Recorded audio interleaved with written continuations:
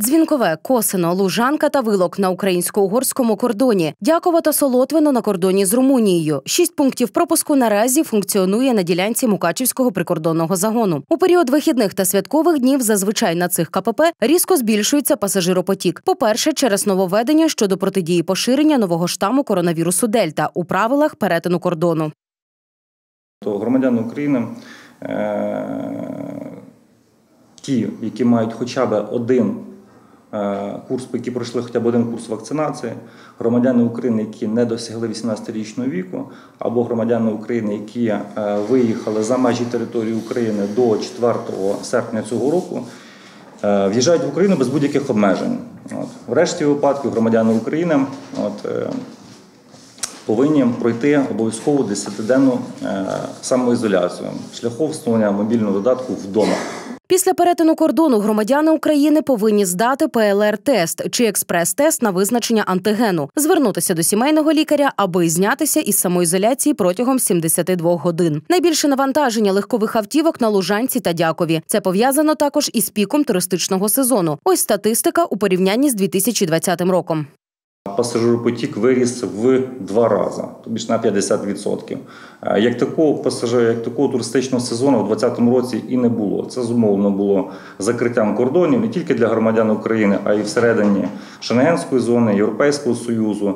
Е, Зараз вже пройшов певний спад е, поширення коронавірусу, що зумовлено масовою вакцинацією е, як громадян України, так і громадян Європейського Союзу, і лібералізацією щодо в'їзду е, і перетинання державних кордонів Що стосується Чопського прикордонного загону, то були незручності у зв'язку з тим, що тимчасово не працювали пункти пропуску на залізниці Дружба у Чопі, пішохідний перехід та автобусне сполучення у КПП Ужгород. На КПП Ужгород функціонував лише ЧОП Тиса.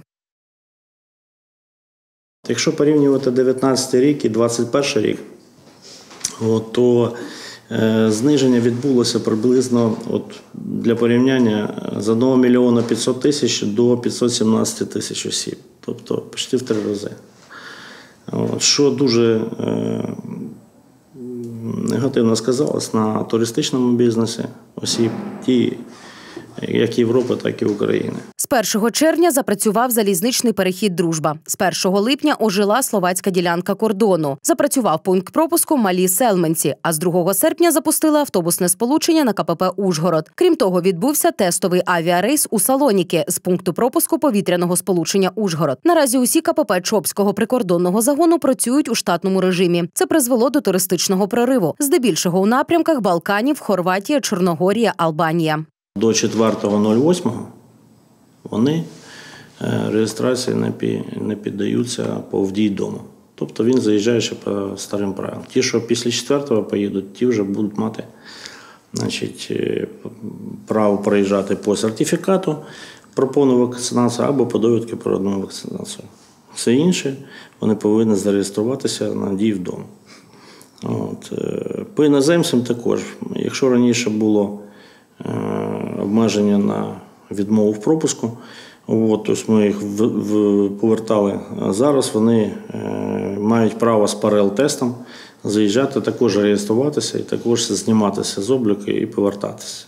568 іноземцям протягом семи місяців цього року відмовлено у перетині кордону, здебільшого через відсутність страховки. Загалом з майже 10 тисяч у 2020 році до практично 60 тисяч у 2021 році зріс пасажиропотік у пунктах пропуску Чопської ділянки. Варто додати, з 22 липня на КПП ЧОП ремонтують міст. Усі транспортні засоби тепер рухаються по легковому напрямку, аби мінімізувати незручності. Прикордонники наголошують не нехтувати правилами перетину кордону.